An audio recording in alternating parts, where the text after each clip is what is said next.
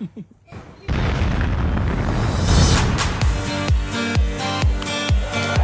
to right, down towards the corner. It's going to one hop and go up into the seats for a ground rule double. And it's second and third with nobody out in the Boston third inning.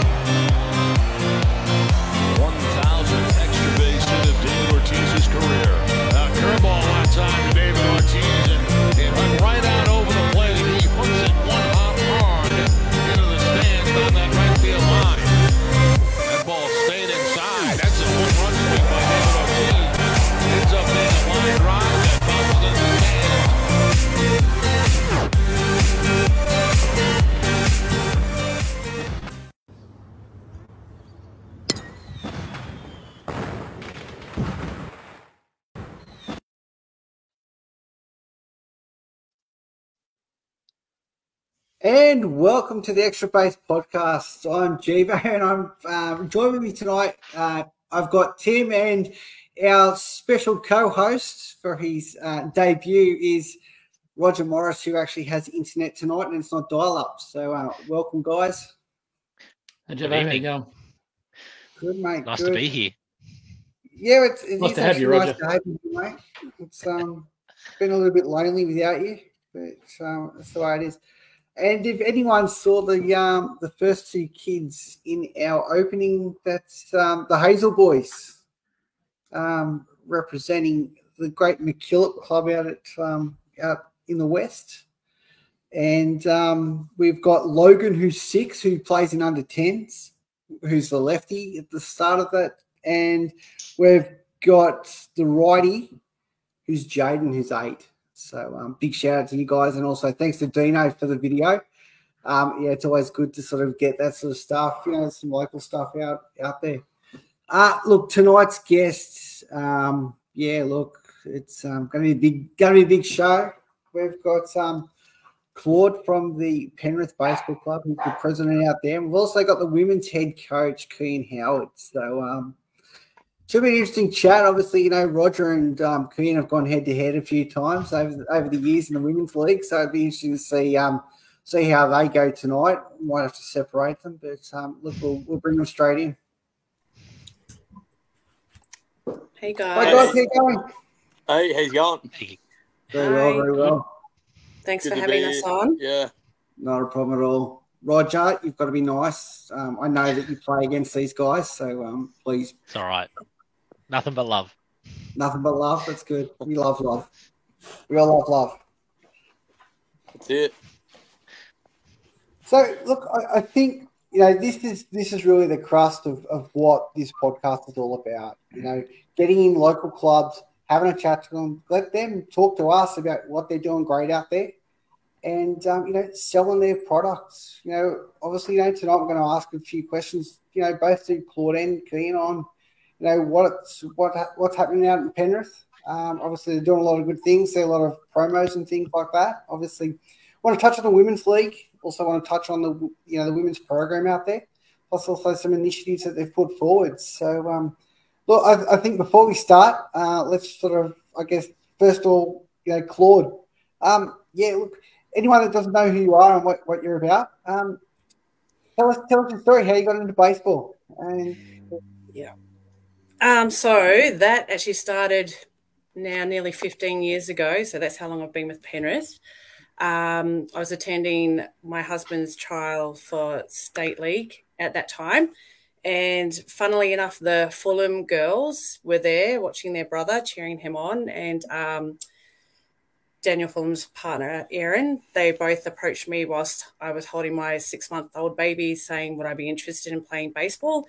And essentially, I said yes, and it's just hasn't, I haven't looked back. So, from uh, trials, watching my husband, my now husband, trialing to being here now, I'm probably more involved than what he he is these days.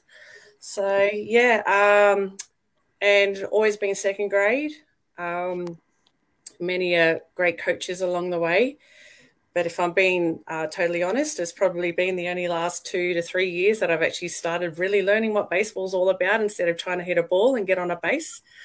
Um, so yeah, that's that, that's the crux of it for me. Um, and there's been plenty of people within the club that have helped me thrive personally and given me a nudge to just step into light roles from an assistant coach from way back, uh, what I'll say, 10 years ago, thanks to Tanya Oldfield and many others. I, I could drop so many names that have helped me along the way, but um, we'll be here all night if I keep talking about myself.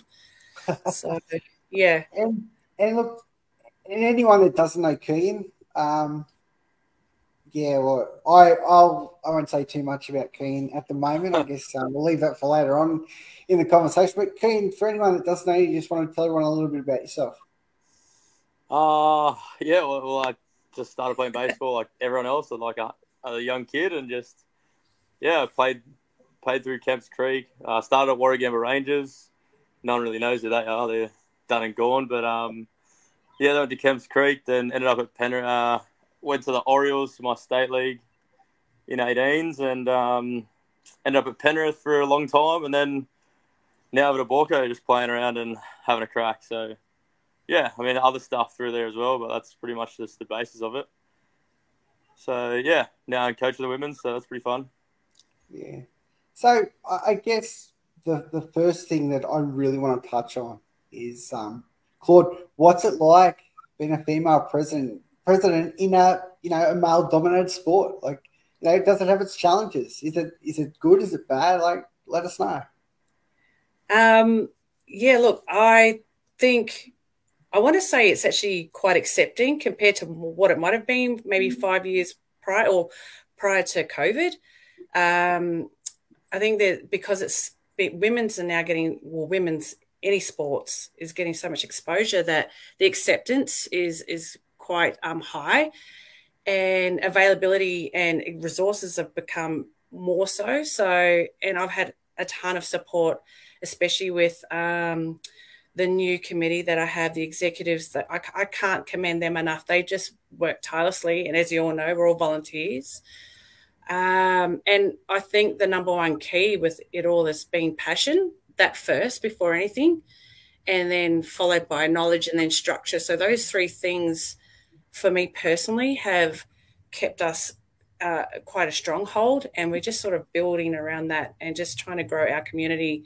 I mean, as you can see, that you can reflect on those photos alone. Um, just just some of the things that we've been doing really well and I have to just call out um, Joel Berg, who is our promotions. He has just done a phenomenal job with all our promoting, marketing, whether it's, you know, you can see the pictures here alone. Majority of that's all him. And he's pushed for us to get ourselves out there. He's really marketed us so well. So I've had a great team of executives, and I'll call them more than just executives, but my friends, baseball friends along the way. Um, and they've they've really helped make this club thrive and grow in the past 12 to 24 months uh, post COVID. So yeah. And I, I, guess one of the one of the things that I always look at too, um, Penrith always been a very family orientated club, and I, I, guess a lot of that does show in in a lot of these photos. And I, I guess one of the one of the big things that I always look at too, you know, is like everyone going to the Blue Sox game, for for example. You know, um, how did that come about? How did how did that happen? So um, our treasurer Mel, um, she actually jumped on board with just heavily involving um, our club and these kinds of initiatives. When she saw it pop up, that was the first thing she wanted us to be involved in that they've now that they've come back into the fray. I mean, I think even last year we we dabbled a little bit into it, but not nowhere near as much as what we received this year. I think it was a sea of Penrith players, members, parents, volunteers, executives that turned up to the Blue Sox game just recently, and and it got a lot of great feedback, not just um, from our own members, but from others within other clubs, and just just the socials were flooding with just a lot of a sea of Penrith colours. So that was exciting um, to see getting again marketing ourselves, but just I think we just want to inject ourselves back into the world of baseball and Blue Sox are just, just coming back into it all, and we're starting to really want to be a part of it all again. So it's it's the same as tournaments, like everything that's coming. I think we've just just about entered nearly every tournament that's come about. So anything that's coming up baseball orientated where we can be involved, we're going to get involved. You sound like a proud mom. I, I am. I know. I, that's exactly that. That is probably the best description. Um, and I mean, Kian could probably attest to that too, because you know, many years back, I pretty much, you know, a near pleaded for him to come on board to help us with our women's, and he's he's not really left. So he's he's been like a, a really a big part of our growth, and uh, for me, support personally, a really big part. But yeah, I, I can't just single out one person. Everyone's worked so hard to just I shouldn't say hard. I know smart's the the, the right word, but yeah, we just it's tireless. Um, yeah. We get the rewards when we, like I said, you look at those photos. That in itself, they they tell us just how um, well we're going. That's the succeed there when we see it in the form of a photo alone, um, and and in many other ways also. So yeah, definitely proud mum. I, I see too that you've got a, a lot. Sorry, of, um, someone's calling me. You're famous, mate. Famous. um, Uh, also see that I'm um, not gonna phone call all day. you know, like especially for for yourself, you know, you sort of you turn up, you do your job, you go home. You know, it's it's like a nine to five thing, but baseball it doesn't have that. No, Baseball, you know, it doesn't. it- it Baseball's consumes you. almost like the number one job, and my actual job is my second job. Does that Yeah. make sense?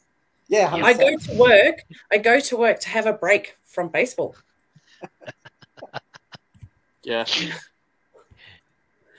Yes.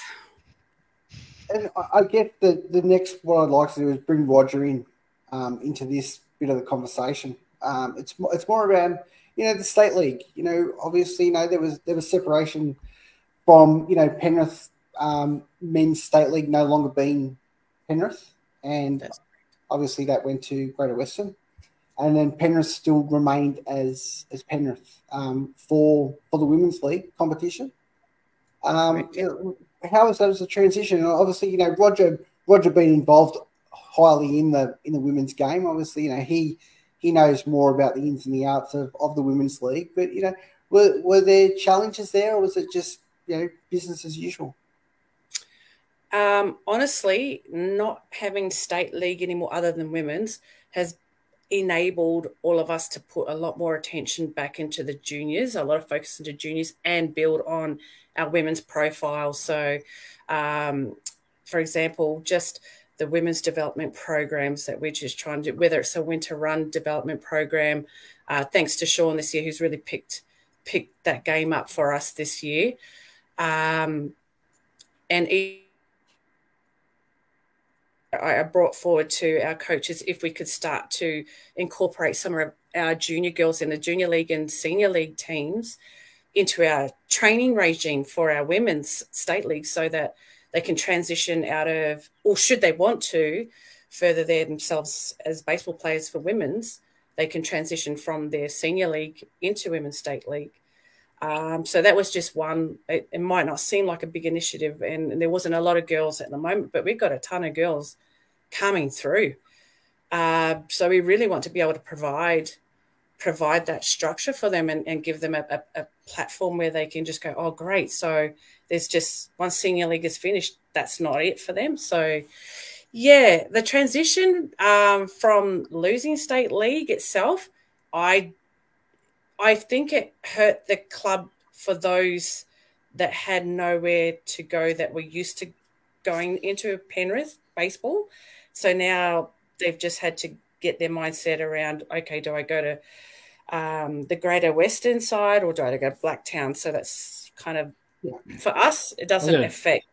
But for those players, it hurts. Claude, Claude, I mean, I was going to say, just picking up on that, there's a sort of from those learnings, is there there you know a good argument to say splitting some of those junior associations away from that direct link to a to a state state league side. So you've just said that they've got options to go to, you know, they would have all just gone to Penrith, but now they've got Yeah. options to go to either Greater Western, Blacktown, Yeah. you know, Chiang was and- plays for the Borco. So and it given and it's freed up the clubs time for their volunteers, money, all those type of things to focus Yeah. on on the women's game and the junior development rather than trying to spread so few resources over such a wide um, you know offering of baseball. That's exactly what it is. You've nailed it. Yep. And Kean, you know, Yo, you being the you know the the main man, so to speak, of head coach of, of the women's, mate. You know, we know you're a busy guy. You know, you play first grade for Borco, and look, I won't hold that against you.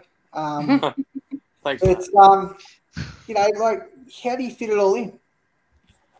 Ah, to be honest, like it's it is like Claude says, it's like you go to work to get a break. Um, I, my job is not as anywhere near hard as Claude's. I mean, uh, when she did ask me to come on board and um, ask to help with the women's, I, I was pretty hesitant. I didn't really want to do it because I, I knew the time that was going to be involved. And I was like, oh, man, I don't have the time for this. I'll I'll just come down and coach. You do everything else. So I was like, I'll come train you guys on a Tuesday. And then after Tuesday, you, you take it all over and you do what you have to do. And then, um, yeah, just uh, it went from just trading him on a Tuesday, and Claude was like, "Come on, come on!" Like, so I ended up full time coaching it. But yeah, I can't take I can't take all credit for it. Um, Claude puts a lot of work in behind the scenes with all of it all, and also like along the way, I've had a couple of um, couple of good like assistant coaches help me out a little bit. I've had Ray Tozer for a bit, and we have been back on board this year.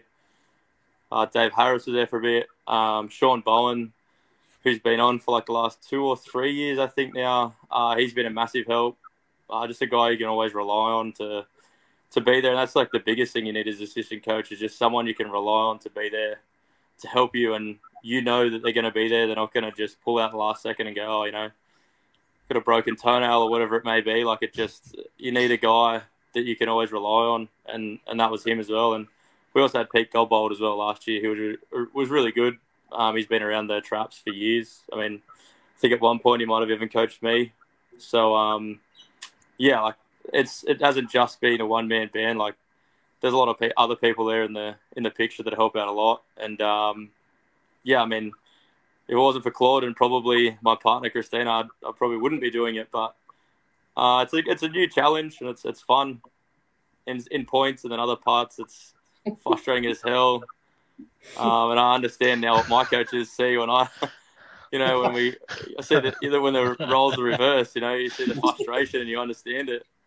That's why Yeah, Gino's so great. actually, while, while you say that, while you say that, Kean, um, Phil Hemmer's coming on after Christmas, and um, oh no yeah, way! yeah, we'll, we will be asking him questions about yourself. So um, yeah, stay tuned for that episode because uh, oh, will be. He'll be saying the same thing I'm saying. Uh, what uh, But, uh, what do you guys what do you guys think was the biggest um, breakthrough going to your coaching, Ken and Claude? You're in the team. Um, I saw you guys on a Friday night, and you guys were really focused on on your strategy in the game. So if you go, what was your click moment in in teaching the girls a bit more in depth into the game? Just curious. Like, is it Uh, just something you've been working on, or is it? it's like Claude. Do you want to like? I, I'll, I'll answer, but do you have anything on it first, or Um, well, as, as a player more as so? women, as women playing, um, and we, it's, it, it, we don't want to fail, regardless, like anyone, right? But we also don't want to cop the wrath from our coaches. So we, there's intensity. the intensity to not fail is sometimes supersedes just relaxing and having a bit of fun and and just making it flow, again flow the way it should. Um, so yeah, like they our team is very intense. Like we've got the two two women's sides, right? So we have two Penrith sides. So one side tends to always be less intense, and our team is intense because we I think we're so scared to fail, not just for ourselves, but we don't want to let our coaches down when they put so we know how much work they they give up time to get us where we're getting. I mean, just look at the last few games where oh sorry, the last five, six games where it's clicked, like you're just saying there, Rog. Um, I think Sean especially has been pushing for us to communicate, as has Kean, and communication has been something we probably have been lacking because people, the girls are scared to to be confident and yell out and and think they may make a mistake. So when of of late they're just coming together with that communication and confidence, and that's starting to show um, with I- and I'd hate what the with- punish- What what are the punishments that you're in, imposing here, Keane? Because Oh, look. Have you Uh, not been around? Have you not been around to see coaches rip into their teams when they've just played Been like they, sh- Been they should know done what they're doing, but they don't? So that's Uh, that. Anyway, I've said no. my piece. Yeah, I, I got no punishments for them. Like, um, that's why I love like the, that's why I love the ladies that I coach because ninety percent of them are as hard on themselves as like I could ever be. Like I couldn't punish them because they're already as hard. Like my partner's worse than me when it comes to anything to do with baseball. Like if she fails, my god, just leave her alone for an hour because she just she won't cop it um, she's like she's honestly like me. Like when I was younger and I failed, like Roger will tell you, like he played with me for a fair few years. Like I hated, I hated failing, and everyone sort of knew it around me. So um, no, I think like Claude touched on it. Like um, I, I, I played state league for a long time. I've played under a lot of good coaches, and I've played at a reasonably high level. I'd say ridiculously high, but reasonably high enough to understand the intricacies of, of playing the game and just the smaller things that need to be looked at. And I got a lot of young kids coming on board now that I sort of want them like they're. I look at them and I see really good baseballers. Like they're going to be, you know, the next Emeralds and stuff like that if they keep working towards what they're doing. And they're in New South Wales squads already and all that type of stuff. Um, I'm just trying to teach them what they should already know. Uh, Yeah. I see it through juniors in boys and even juniors in women's. Like they just, where I was when I was a kid, I feel like they're just behind, probably two two years behind where they should be. They they turn up to state league and they just they don't understand the basic stuff. So we're getting them in state league at a point where, like in 18s, we're just like, oh, let's run bunt plays, and they they don't even know what you're talking about. Yeah. they hardly hardly any of them could even bunt, let alone do a bunt play. Like they don't know what a like, you know, your regular crash picks are. They they got no idea, and like that's what I'm trying to teach in the women's. We're not doing the you know the bunt plays, crash plays. We have we have run over them, but we're not. I'm not worried too much about them in second grade yet. Um, it's more so trying to just get them ready for first grade and and higher things, and just trying to get them to understand that. Yeah, like it's not just you know picking up a ground ball, making one out, and that's your job done. There's just there's so many other things to be done, and same with other players everywhere else. It's not just like watch the ball get hit and go, oh god damn, like how good was that play? It's you got to be a part of the game too. It's just because the ball wasn't hit to you doesn't mean you're just standing there watching the game go by. It's you got to be Yeah. a part of it. So I'm trying to just teach them that, and like I said, there's no punishments for my ladies. Like they they punish themselves when they lose. They know they hate it just as much as I hate it. So there's no need. Keane, I also think that you've undersold yourself a little bit.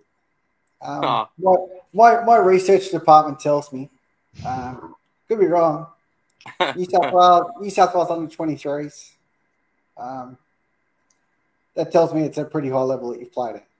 Um, yeah, I mean, you know, Merrick, Marrickville first grade, Walker Mills first grade.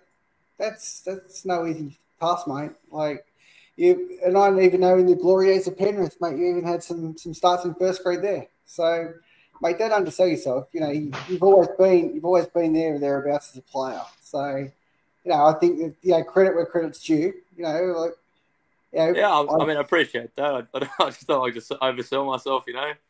yeah. Um, yeah. Yeah, no, it's not like anyone calls you the rig or anything and talks to you. Yeah, yeah. Yeah. Yeah, well, Andy Andy Courtney was going to come on, but um, yeah, talk all about the Chi Chi phenomenon. But um, know, that, that's for another episode too. Yeah, So, we'll, we'll see that. We'll leave that on for another one, I reckon. but um, no, they're cool. Like I think I enjoy coaching them just because their personalities are cool. They're all like really good people, and like I said, like they just they want it as bad as any first grader I've played with, and that's what I like to see. It's when I don't see players wanting it. That's when I sort of get disinterested. and you know, it's they don't obviously if they don't want it, then there's no point wasting your time on it, right? Like they just, yeah. So, I, I guess one thing I want to touch on, Keen, because you, you made a really important point there too. You, you know, you're talking about you know kids don't know, you know, the, the basics.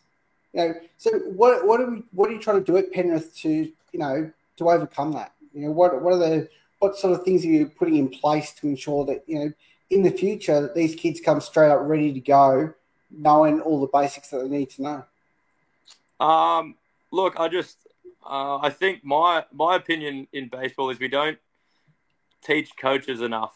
I mean, we, our focus is all on kids, right? And that's great. But what's the biggest issue when kids are coming through? They they say, "Oh, you know, my coach never taught me this," or "I got here like we never learnt this back where we were." And I feel like um, coaches don't get and like and it's great if you have a coach that was, you know, like an ex big leaguer or someone that played state league or someone that, like myself, that played a higher level. It's great because we've sort of we've had that training from former coaches that have been in those levels. So it's, you know, we we know these things and we learn them and we can teach these kids. But like mums and dads that get involved with T-ball, obviously they're not doing bunts and stuff at T-ball, but like your mums and dads that will do, you know, 12s, 14s, 16s or whatever their age brackets are now, they just don't they don't know. Like the coaching courses now are just they're so focused on ASADA stuff and all the stuff that you don't really need to focus on.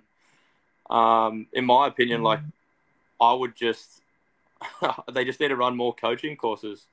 Teach teach coaches how to teach them how to swing it back. Like I mean, some of them are just guys that play beer league, and that's great because it's mad fun. But you know, these kids, if they want to get somewhere, you know, like they're not going to learn anything from you know your old man going, just hold it from here and just swing it as hard as you can. Like the baseball swings, there's so much mechanics involved. I mean, even now with all the analytics and everything else that goes with it, like it's so in depth. And we're just, I don't think we're touching on the coaches enough. So at Penrith, we're sort of trying to get coaches involved with stuff to try and teach them to be able to teach their kids. I mean, Sean is great with that, and that's he's our development officer, and he's he's really pushing to help try and teach other guys how they can teach these things, like our, you know, all our relays, all our cutoffs, all that type of stuff. Even just the basics of picking up a ground ball. Like, there's a lot of coaches that couldn't tell you how to do that. I mean, you could yeah. pretty much go to any club in any sort of league and just go, "Hey, can you just show me how to pick up a ground ball?" And they probably, I can probably guarantee you, they do it wrong. So, yeah, that's that's more so what I'm trying to focus on is if if we can try and teach some coaches and teach whoever. Like, I want to teach these younger ones definitely but um, even the older mums in our team, we could just teach them, and then one day they may come turn around and coach, and they can they can then show them the proper form of what they should be doing and how they should be doing it, and then that should in turn fix the game, right? But it's a yeah, and and like even in Roger's headline there, you know, Parkour hero. He loves what you do as a kid. That, that's what it's all about. But yeah, not, not everyone can do that, you know, and I guess it's you know, parkball's one thing with you know state league and having the right fundamentals and and working on those sort of things is really important. So I guess it sort of then goes on onto you, Claude. Like, how how do you make sure that you know your club or your coaches and are getting the right training and assistance to ensure that you know you're bringing up the, the next level of kid? Yeah, that's a good point. Um, and extending on that, what Keen's been talking about. Look, quite often at our monthly meetings, this is a hot topic. So coach depth has been pretty much number one and two on my list nearly every meeting because I can see that the passion is there.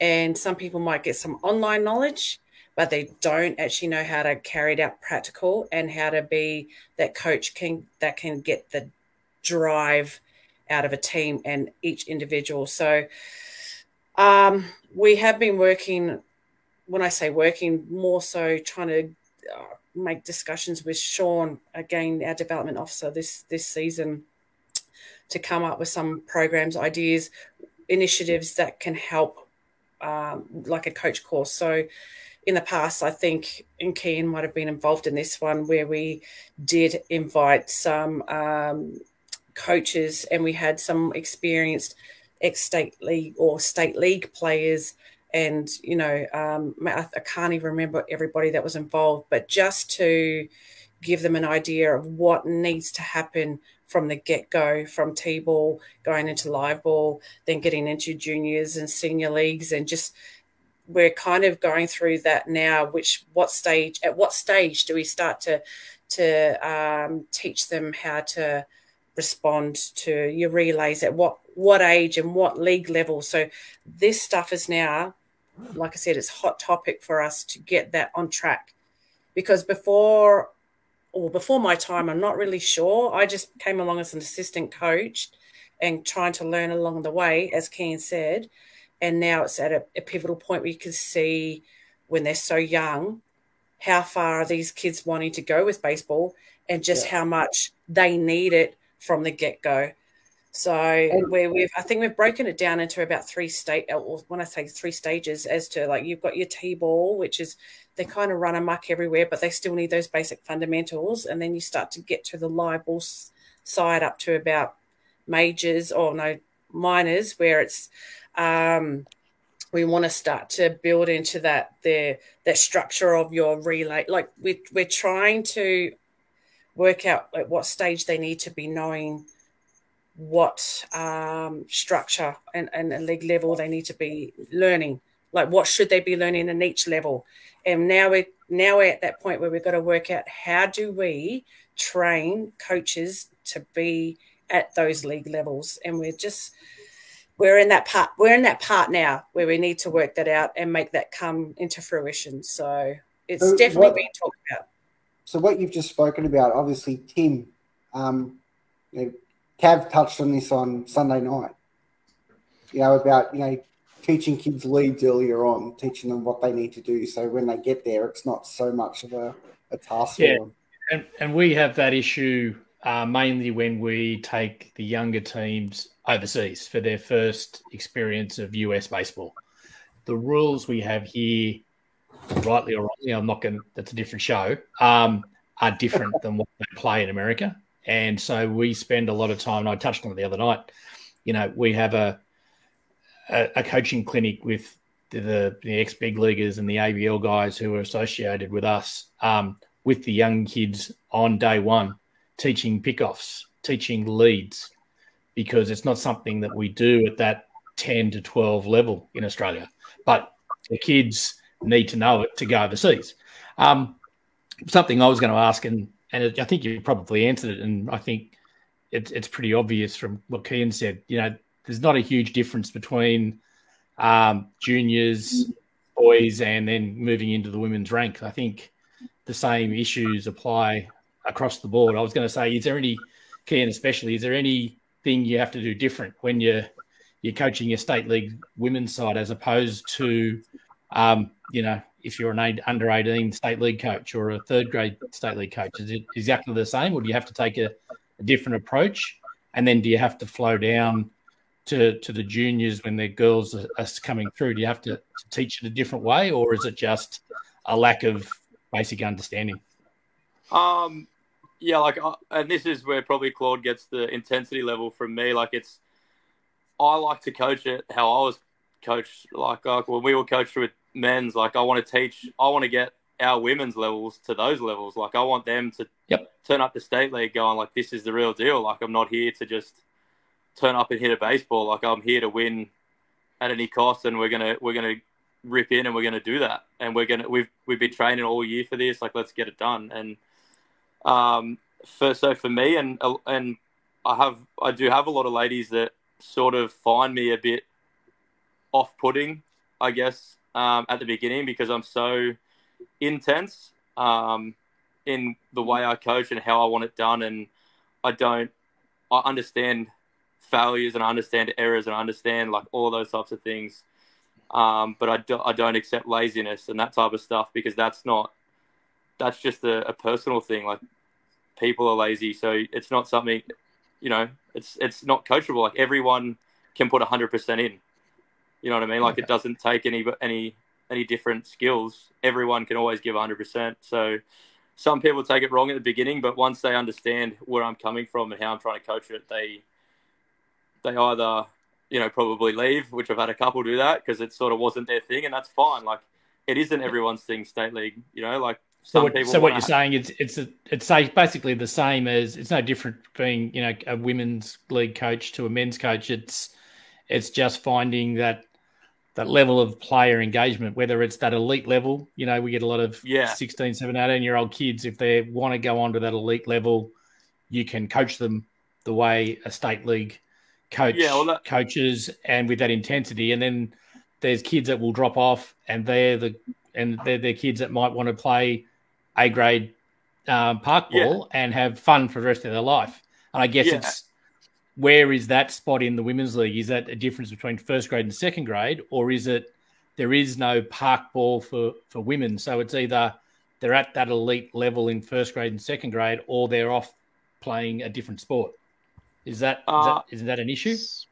Yeah, I think that is an issue. I mean, women's sport, especially in baseball, doesn't really have that park ball thing like like men have, right? Like men can play park ball or they can go and play state league.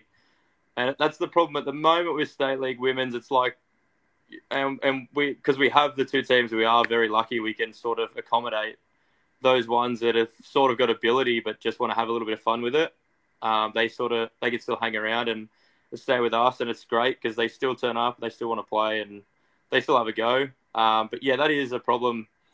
We have first and second grade in women's, but um, yeah, if if they're not quite to that level or they they don't quite enjoy it, I think we do tend to lose some of them because of that, and it's a shame. But I mean, like yeah, like I said, I try to coach our women's team like it would be a state league because I don't want I don't want it to turn into a park ball league. Like this is what we're trying to do, right? Like we're trying to make it a serious women's league.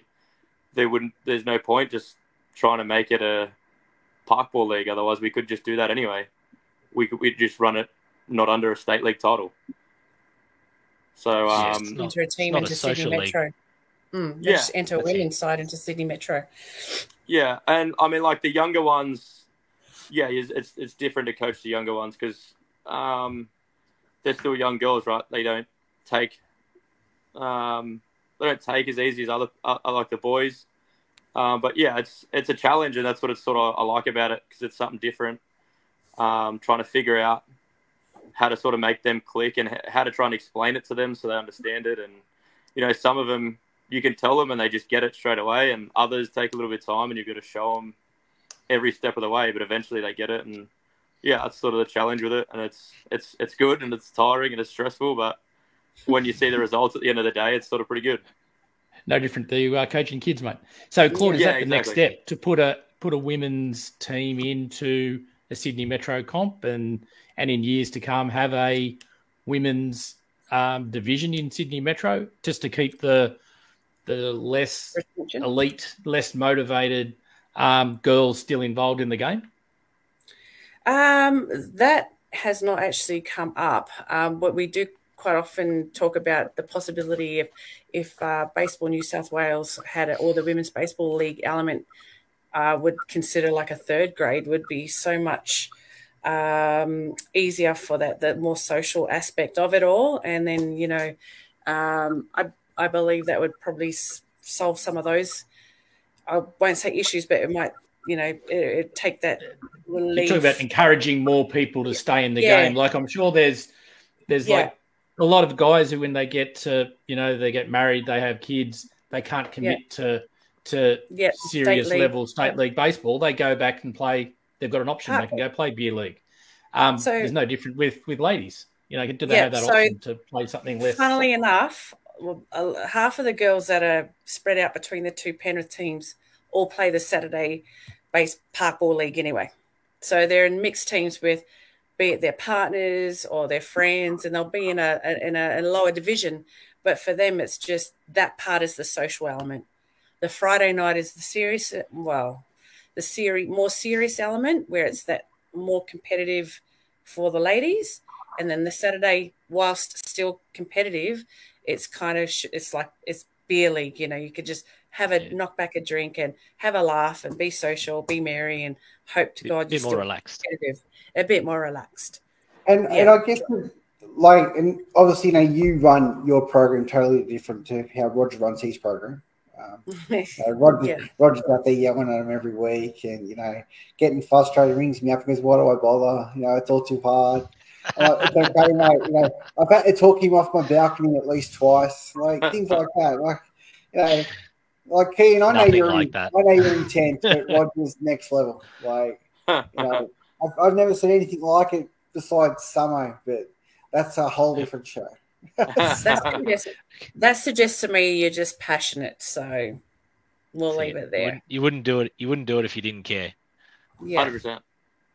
So, Well, you've got about- no family, no family of your own playing, have you? So this is No. your time purely because you're passionate enough to want to take that on, and you can see where it's going. So, yes, I think I think I think I see the same struggles as you guys um, with the younger girls coming up, and I think that's probably where some of the frustrations come from. You just go, ah, if only they just knew a little bit more. And I, Yeah. I like that you guys are, are looking at coaching the coaches, if that makes sense. I think that's too. that's a really great great thing to start with. Like that's that's pretty awesome. Yeah, but that's not closed in, by the way. That's not just just Yeah. Penrith. Like we, we with all our development programs that we've been running this year, we've opened it up to everyone. It's like so even if you heard us doing that and you're like, hey Claude, I, I'm keen to a couple of parents out your way or you know to throw them in that program. Happy days, like because that's what we should be doing. We should be sharing that around. Like it's, it's not it's not exclusive. And look, Share- share so Roger. I'm going to put Roger. I'm going to put you on the spot because I know that um, you know recently appointed women's VP for women's league. Oh, so yes. um, Yep. Nice. Congratulations. Congratulations. Yeah. congratulations on that. Yeah. Um, I'm not sure if you know what you got yourself in for, but um, Definitely not. Definitely not. But mate, We'll find out. is, is Uh, that something that you that you you know want to try to push through the, the women's league committee? Something in, you know in regards to that agenda that Uh, Claude's talking about? Is that something that that's a focus for yourself? Like obviously, you know, you're a player. You know, you've been a player. You, you coach women's league. Like, is that something that you'd be interested in doing, or is it something not on the radar? Or Um, I think um, it's more. Uh, took a lot of information out of our strategic planning night. Actually, that Yeah. it sort of opened my eyes a little bit more to Yeah. to sort of what we could plan and what, what could happen. Uh, one of the things we spoke about was a, like a coaching knowledge base where people Mhm. could like pick off uh, different drills and stuff like that. That's still something that I think Baseball New South Wales could probably even host on their website. So once you become a coach, you then get access to that that information. So whether you're level A, B, or C um, coach, you you could access some information like that. I think that would be, you know, the first step um, to something that I would like to push. I, to answer your question, I think that's that's a great start. yeah, and and Tim, obviously, you know, sort of hooked up with the you know the the Osball side of things. So you know, how do how do you guys sort of get around that? Like having new coaches come in, like how do you guys sort of Yeah, so I guess I mean we're we're a little bit lucky in terms of if you want to commit to um, what we're doing, um, we we sort of lucky enough to to have lots of people wanting to get involved, and it's not so much that first coach um, situation. So I, you know, the the coaching situation in New South Wales needs needs a, a bit of help. Um, all the things that Claude and has said about you know that applies equally to to every junior club uh, in the state. Um, but yeah, we are lucky enough at, at the level to have um, probably guys that may not even coach at a at a club level because of the, the either the frustration or the t- extra time it takes. We can, you know, we for say the mafia thing, we run on a couple of nights a week, a Saturday and a, and a Friday night. So we got guys like Cambo, um, Yeah. like Josh, like um, Howie, and they'll come and, and give us that time because it's not a Tuesday, it's not a Saturday morning. Uh, we condense it a little bit, and it's sort of out of their season, so they can devote a bit more time. And they love coaching the kids, but you know they're they're still active players, and as as Keenan will say, it's really hard to be an active player, train two nights a week, get your own hitting in, and then turn around and have to coach the women's league on a Friday night or a Saturday, or you know, there's a lot of conflicts there. So race Yeah. from one game to another. So in in the stuff that Cav and I put together, we're, we're lucky enough to um, sort of we're sort of taking a lot of the coaches that are at that next level already, and we yep. always team them up. So I coach with Ox because yep. I know nothing, and Ox knows lots. So you know that's how do you think I became a, a AYC pitching coach? Because I hang around with Ox, and people go, Tim must know what he's doing. Never thrown under, a competitive baseball in my life. yeah. yeah, no. But you know, but and that's and that's a different level. Like I'm not AYC coaches are not teaching guys how to throw a curveball or a fastball. Yep. We're working on making sure they're warm, making sure their mind's right, making sure the strategy's right, making sure they know what they're going into the game to do. That's a completely different skill than yep. what you're talking about tonight, which is teaching people how to swing a baseball bat. Yeah. I'm a cricketer. I don't swing a baseball bat properly. I'm not going to teach any kid how to swing a baseball bat, but I'll teach them how to approach an at bat, what to expect, have a look at you know the mentality, the side of it. That's a completely different skill. Um, you know, I've skipped the the how to do how to pick up a ground ball. I mean, I did the course. Yeah. I'm left-handed. Yeah. How am I going to teach a shortstop how to pick up a ball and throw it to to first base? In the coaching course, I had to do it right-handed. Well, that so, hello, like Gary Everson shot me down when I was trying to do catching stuff. I'm a catcher, but I do everything back to front and he yelled at me yeah. for being a left-handed catcher. Um, yeah, and rightly so. You know, no, no, I'll, I'll, hold you up there. But there's, there's three spots there, for you lefties. no, yeah, there's right. not. There's well, technically I'm, five, but you know what I'm what I'm getting at. Three is, of them are in the outfield. There's different skills that we can be teaching coaches as well. Yeah. There's some people that that aren't there to teach the skill, but they want to get involved at a game at a manager level, as a you know, yeah. a bench coach, really important position. Um, and that's where you can get other people who might not be 100% skilled at the technical game and still yeah. have them involved and they still add something. And that's that's something that I've really got into um, in the last couple of years. Um, I'm not there to teach kids how to pick up a ground ball because I'm going to do it wrong. Um, but I'll teach them how to approach the game game yeah. circumstance, game situations, the right play, the wrong play, what were you thinking there?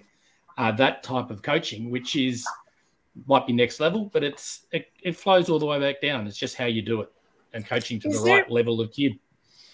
Is there an opportunity, as you're saying that, my my cogs were turning already, thinking, why couldn't someone tag along or where you are doing AYC, where I'll, I'll use myself as an example. Yep. Keen as beans to go to the next level once I come out a step away as a player to become a female coach.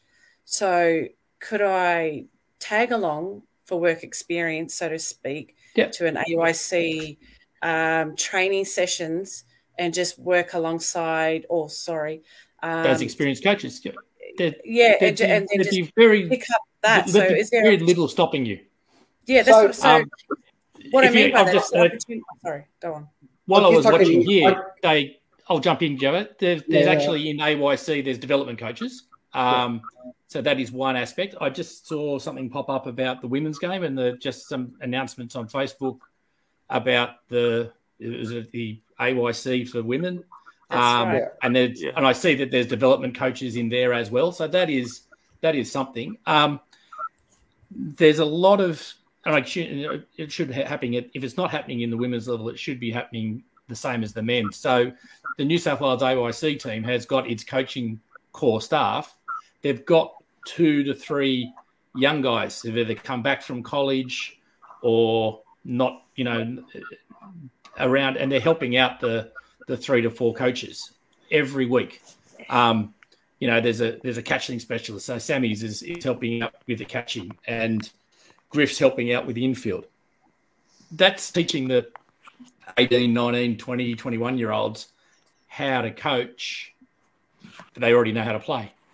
Yeah. And so there is there should be opportunities. It needs to be formalised. You know, that's something we could we could talk about with Baseball so, New South Wales, just to say, I, come along to a training and watch us run it. I think I'll be able to help you out with that, Claude. Um, I'll, I'll, give everyone an exclusive. So I've actually spoken to the CEO of Baseball New South Wales, and um, he's agreed to come on our show after Christmas. So um, I'll, I'll ask a question then. Yeah. Yeah, and, this, Put it on and, and that was sort of that was sort of what I was trying to touch on about coaching coaches. Like, there's there's so much stuff in baseball that you can't learn off those the coaching programs that they give you in terms of you know like they they show how they have Altuve showing you how to hit like you know what I mean like you don't learn anything off that. The guy can't teach you everything you need to know how to hit in two minutes or five minutes, whatever it is. That type of thing is what I mean by coaching coaches. Like, obviously, club level, you're probably not going to teach your hitters, you know, your mental approaches to stuff. But if you can dial down all your plays and stuff like that, and when they're hitting their rep levels and then their state league levels, that's when they should be getting drilled Yeah. and start really getting in depth into the baseball. Because, like you said, when we go play in the states, we're not even close. Like these kids are learning this way earlier than what we're ever learning it, and yeah, and that's where I think we fail as coaches is that guys like you, you, you coach with like Oxy, like that guy has the best baseball brain in Australia, like one of the best brains in Australia, right? And it's because of the experience he's had. He's he's done so much in baseball that, and he's been not just like a big league player, but he's also been like a big league coach. Like he's he's done all of that. So.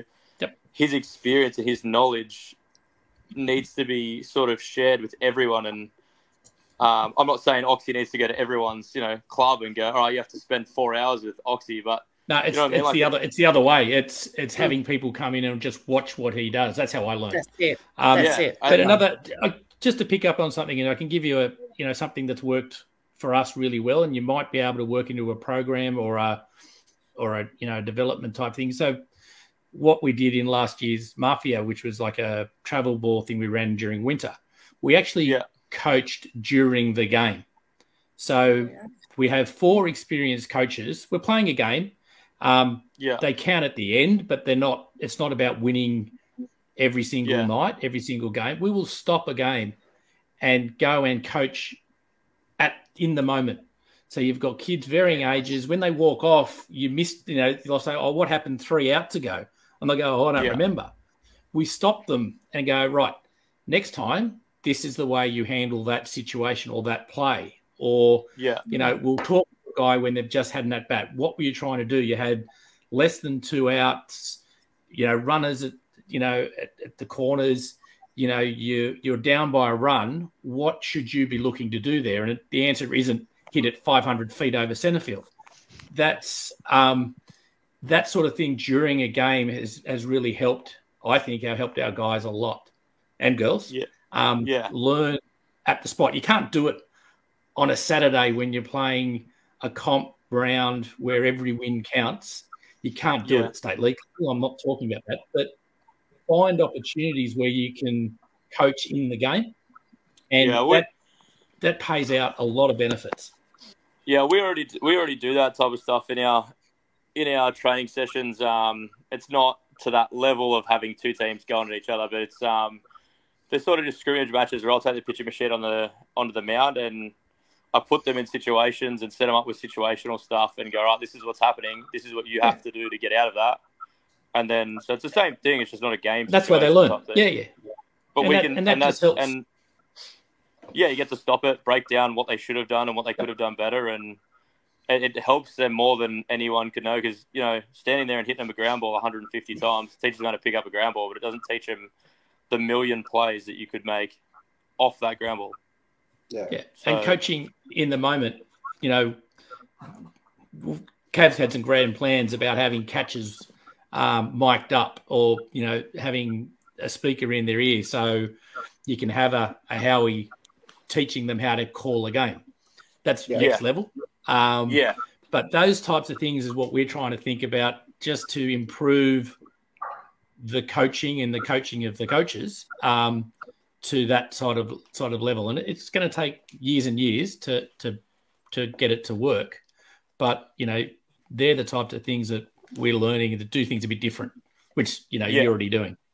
So yeah you, one, you got to try and change it right otherwise players get bored you Yeah. know you got to you got to try and keep it different all the time otherwise guys are just gonna they're going to fall asleep and they're not going to pay attention. They're not going to get everything they need to get out of a training session. I, I guess one of the things, Keen, that you know I always sort of learnt off one of, one of the greatest coaches I've ever coached under is um Samo. It was about you know varieties the spice of life. Yeah, Um, he'd always he'd always change things up. It was never the same. It was never the same every week. It was always something different. No, and that's and that's what I try and bring to my training because, like I said, like being coached by these guys. Um, sorry, I'm just my phone's dying, so I'm trying to get some cords to charge it. But um, yeah, I mean, it's exactly that. You got to try and keep it different for everyone, otherwise people start falling asleep and you don't get out of a training session what you should Yeah. be getting out of a training session, mentally and physically. You know what I mean? So, so Claude, I, I sort of just want to touch on this one one important thing um, because you know, look, it's a huge thing that I saw. And you know, I, I know this went, you know, to the media and it went viral and all that sort of stuff. But um, the She Devils thing, how how did how did that come about? Because I, I know that it sort of it went a little bit viral and um, you know, some good, some bad. But look, at the end of the day, I guess um, the way the way I look at it is any publicity for baseball is good publicity. Um, you know, it is what it is. But um, yeah, just can you talk us through that how that whole thing happened? Yeah, look, we had um, a various amount of uh, young girls, I guess, interested in in this state champ rookies um, the previous year, and um, were trialing, um, and they didn't quite make it, unfortunately, in the in the GWBA side of things. Um, I think at the time, perhaps we believed that uh, they may d- design a, an all girls side or derive from that uh, because there was a lot of interest. Um, and perhaps at the time they thought maybe they couldn't get the numbers, but in the end, uh, we ended up coming together with Plumpton because there was a lot of interest from them, and I think they felt let down by the whole um, not running to that. They felt a bit. I guess we all felt a little bit unsupported there uh, by GWBA, and it kind of it did it did blow up a bit viral wise. Uh, it shouldn't have probably gotten as far as it did, but it did. Um, and hence why She Devils became what they were. So it was the two teams comprising of Penrith and Plumpton. Um, great work there from Kathy Bedford. Just picked up the ball right from the get go and and ran ran with it, and we just aligned and we just it just worked. It came into unison really quickly. Um, and then they went to the rookies comp and they just they just put themselves out there. They got on the radar. Uh, whilst they didn't really get anywhere in the competition, uh, they put themselves on the radar and they were noticed. And um, and it sort of flourished from there because now those existing players from the She Devils have kind of come together and they're in teams wanting to build on developments and you know tournaments. The Archer Cup that's just passed. Uh, majority of those same girls were competing in that again. Um, so there's kind of like a that that trend now that they've they've done it like we've done it, so now we can keep going with it. And I think um, I want to say that going forward with this is basically livened up the whole young girls element for tournaments now.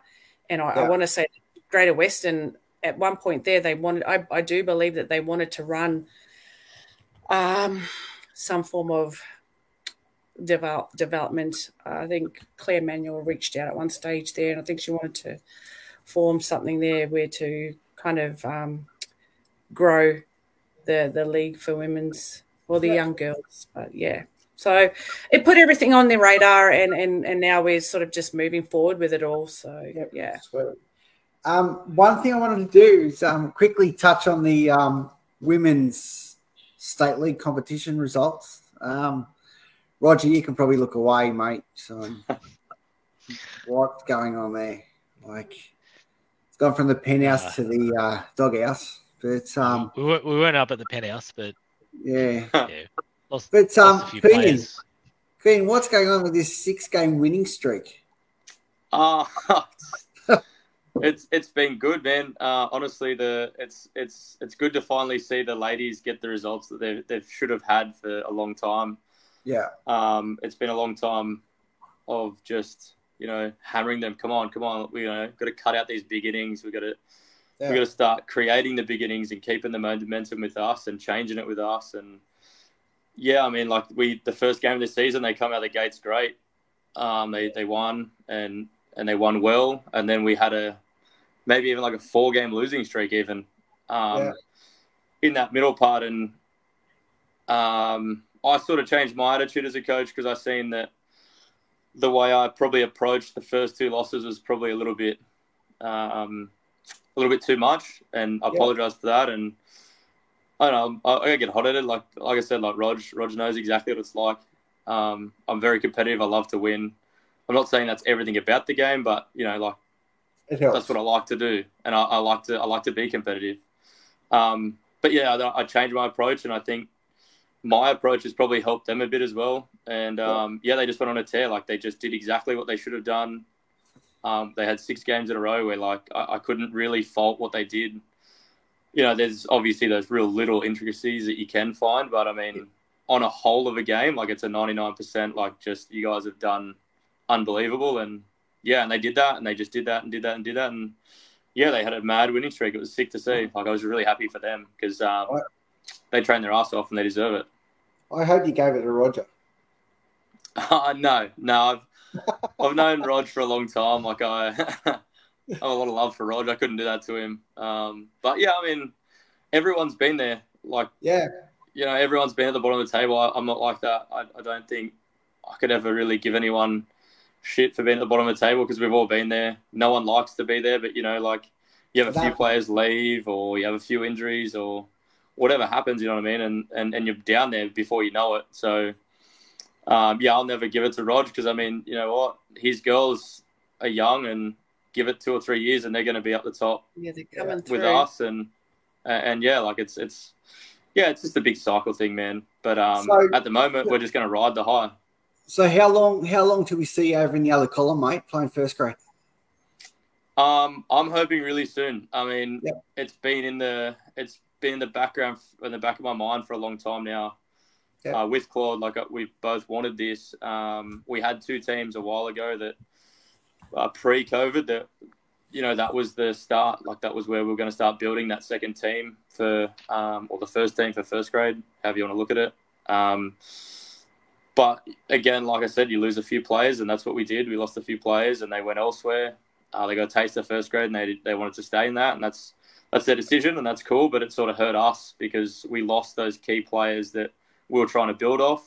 Um, and then last year was the same thing. I had a couple of key players that we probably could have definitely used in first grade, and again they left and went elsewhere. And that, like I said, it's again it's it's up to them. You know, it's their career, it's their lives. Like do what do what you feel is best.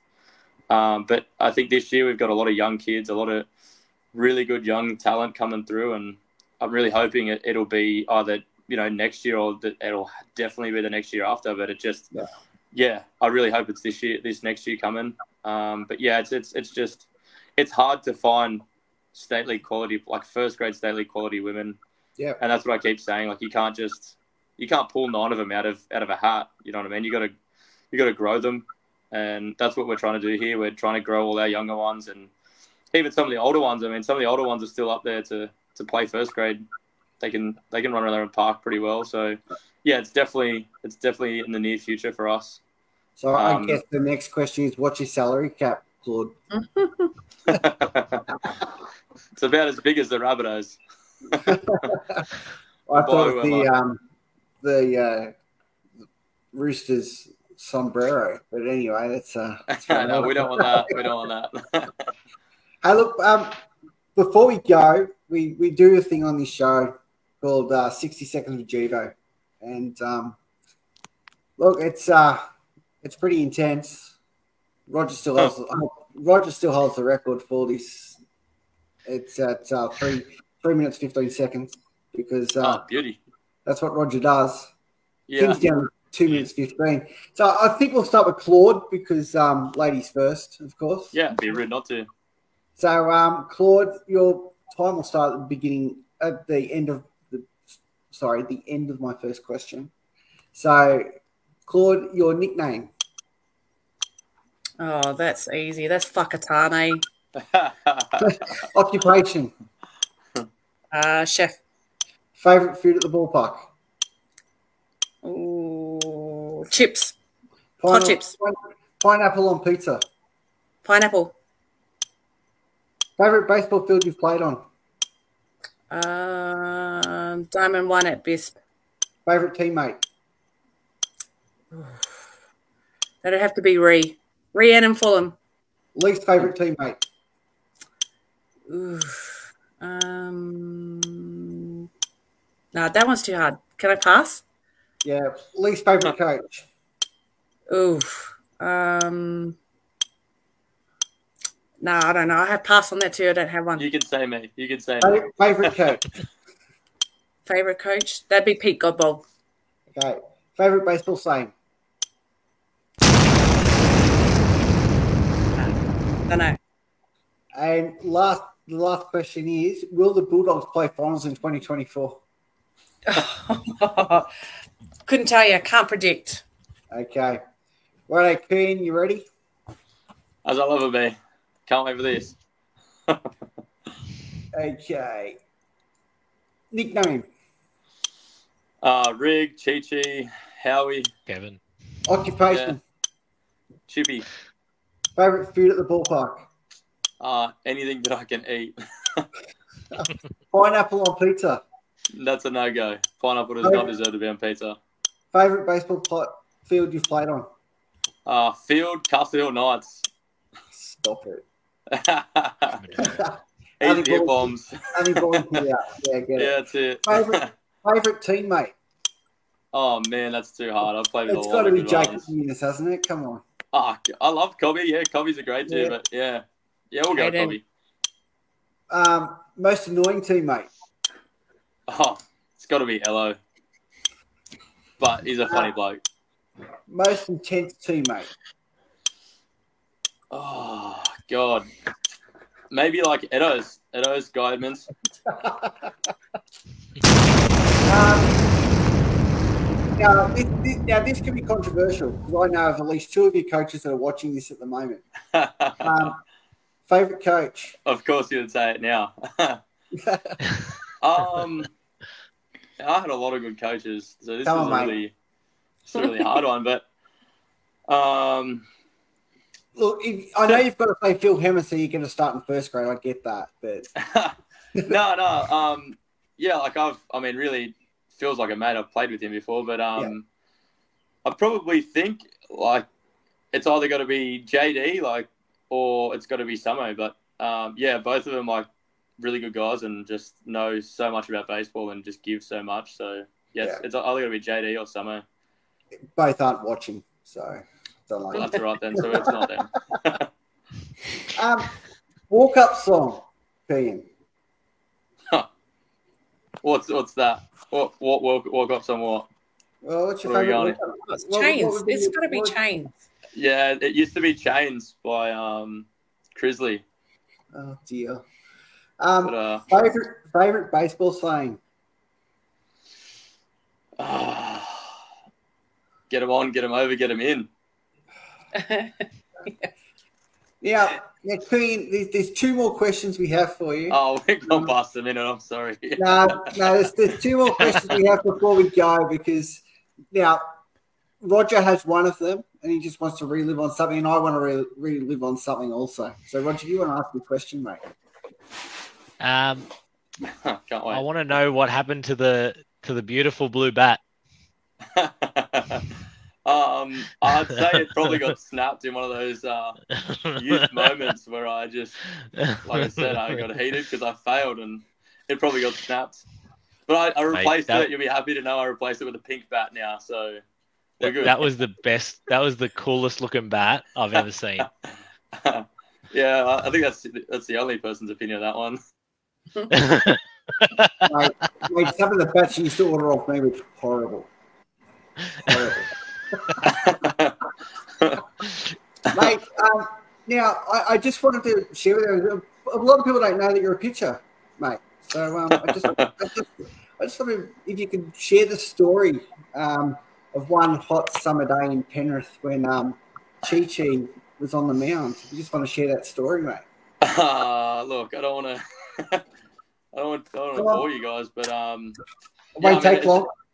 yeah, no, it won't. I was only three pitches and um, eight of the best three I've ever thrown. So, yeah, I mean, you know, if the Blue Sox are looking, if they need a short reliever, really, really short reliever, or even a really short closer, like I'm here. Just uh, on the papers, just a specialist, you know. So, so just give you a little bit of context. Um, we were, second grade, wasn't it, Keaton? Second grade? yeah, I think so. Second grade, and um, we, we ran out of arms, and we're like, oh shit, who are we going to use? We've got no pitches.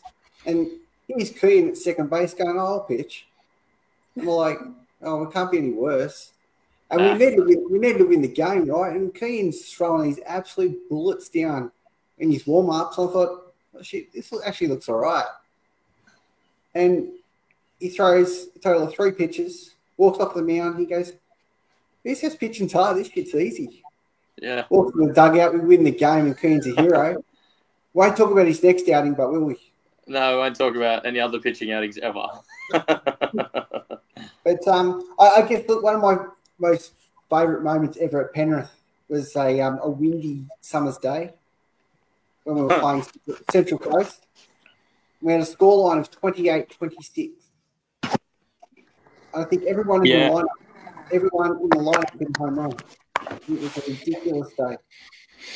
I've, I've, we a ball was going 20 foot foul. It was blowing over fair. It was just one of those most unbelievable days I've ever seen at that ballpark.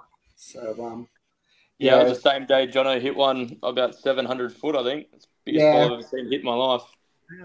Yeah. But um, yeah, fun times. Look, guys, um, look, thanks for tonight. Really appreciate it, and it's, it's really good to get an insight into into clubs and, and how they work and how they operate. It's um, it's also good to sort of get the story of you know the people behind the scenes of, of what makes it tick and make, what makes it work. Um, you know, I, I can't thank you guys enough. And um, look, Claude, all the best for um, the rest of your season. Thank you. Um, Appreciate you having um, us on. Not a problem. And Kean, I'd like to wish you luck when you play for Borco. So you know, yeah, look, everyone hates the winners, don't they? Yeah. yeah. But mate, But uh, I actually no, I really appreciate you guys having us on. Like Claude said, um, it's been mad fun. Um, and yeah, it's, it's it's I appreciate it having Penrith on, and so we could share what we're doing over there, and you know, hopefully it might help some other clubs out. Yeah, definitely. And so no, I really appreciate it, guys. Too easy. Tim, you got anything? No, no. Thank you for giving us your time and and giving us a bit of insight, especially into um, the women's side of things. Really good. And And we've lost. I, and we've lost Roger again, have we? I'd like, I'd like to Roger think by the looks of it. Roger see Roger any questions, but obviously Roger doesn't. Um, this is probably Lost the longest. interest. This has probably been the longest um, podcast Roger's been on, so Oh, probably a new okay. record for him. but um, too easy, guys. Uh, all we're going to do now is uh, wrap it up. But um, look, thanks for joining us. Look, we're having a short break over Christmas. Uh, I do believe Roger's coming to my place New Year's, Eve, so um, there could be a, a special extra base podcast Back, New Year's Eve edition from my Oh, place. that's that, So, what um, could go wrong? Oh, lots could go wrong. There's plenty of drink going on, but uh, yeah, Rogers, Roger, and I could be doing a New Year's Eve special from um from the alfresco. I'll be tuning in, guys. I'll be tuning in. Right, guys. Um, we'll let you go, and um, look, everyone, have a, a very merry Christmas, and we will see you in the new year. Thank you. Yeah, you too. Guys. Thank Take you. care, everyone. Merry. Christmas.